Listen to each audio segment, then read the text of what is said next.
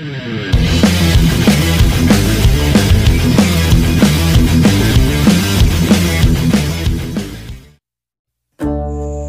sobat kreatif, jumpa lagi dengan saya di sini.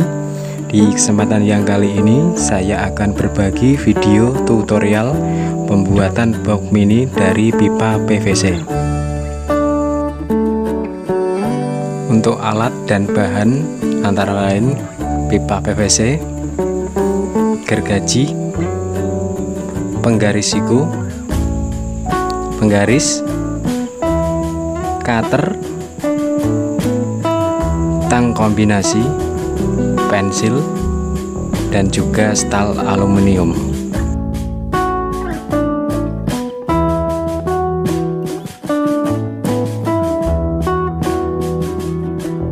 Langkah yang pertama, ukur bagian pipa yang akan dipotong. Selanjutnya, mal menggunakan kertas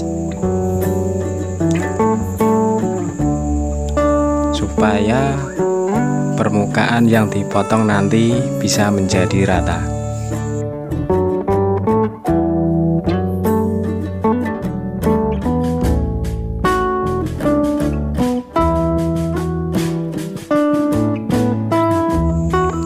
Selanjutnya, potong pipa paralon menggunakan gergaji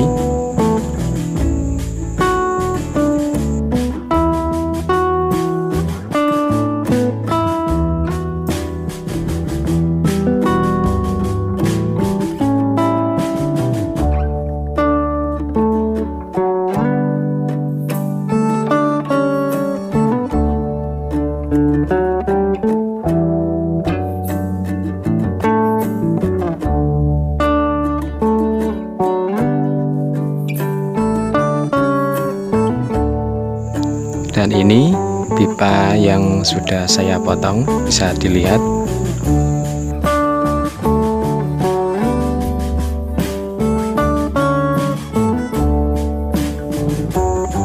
Ukur juga bagian as untuk dibelah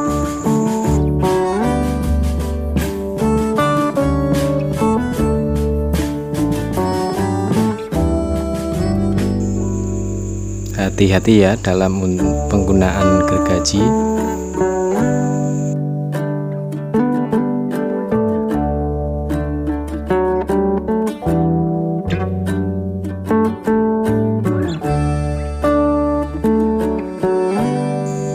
Nah bisa dilihat prosesnya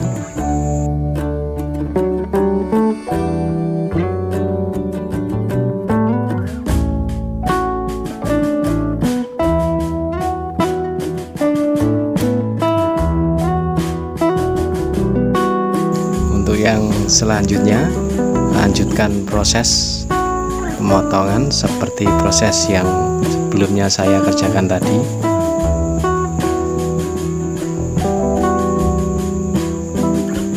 Potong sesuai kebutuhan yang diperlukan.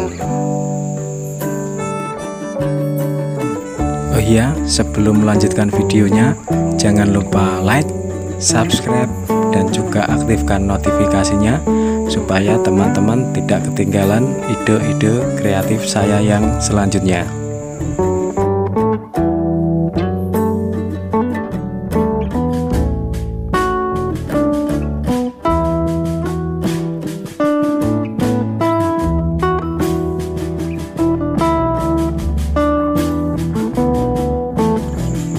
Oke lanjut ini bagian-bagian pipa peralon yang sudah saya belah dan saya potong tadi. Untuk yang selanjutnya proses pemotongan sesuai ukuran. Untuk pembuatan mini box ini ukuran yang saya pakai panjang 8 cm dan lebarnya 5 cm potong menggunakan cutter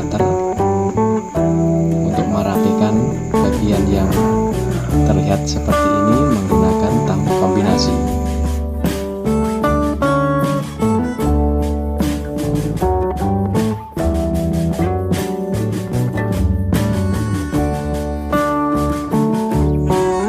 Untuk proses selanjutnya, silahkan disimak videonya sampai selesai.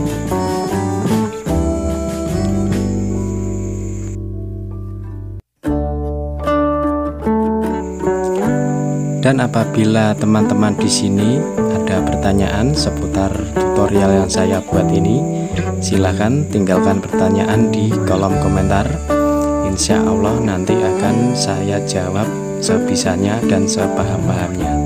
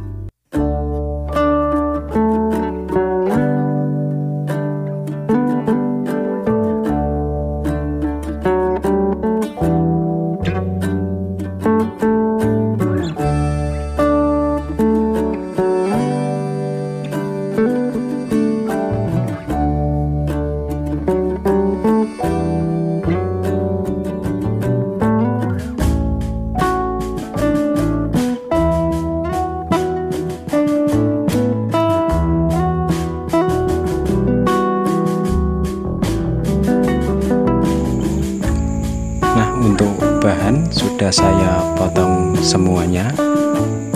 Sekarang lanjut ke proses perataan lembaran pipa peralon ini menggunakan setrika.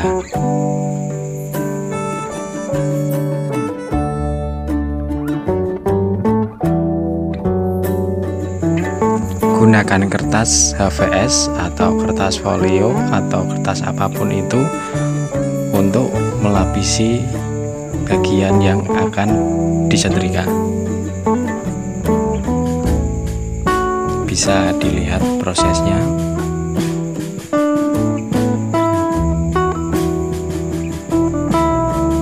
Nah ini sudah disetrika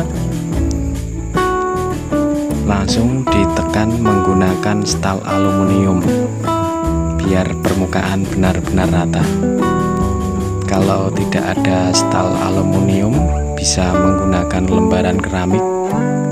Itu lebih bagus hasilnya.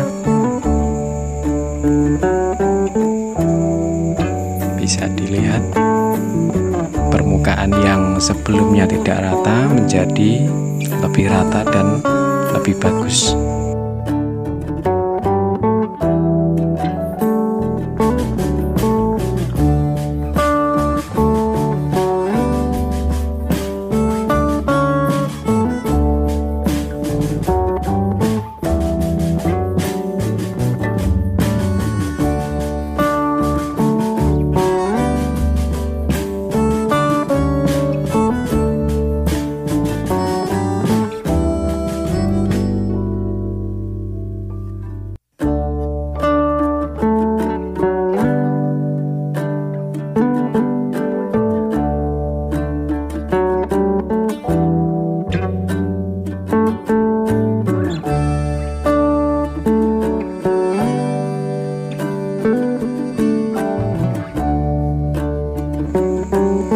sekian di kesempatan yang kali ini. Semoga bermanfaat, semoga menghibur. Jangan lupa like, subscribe, dan juga aktifkan notifikasinya supaya teman-teman tidak ketinggalan video-video ide kreatif saya yang selanjutnya.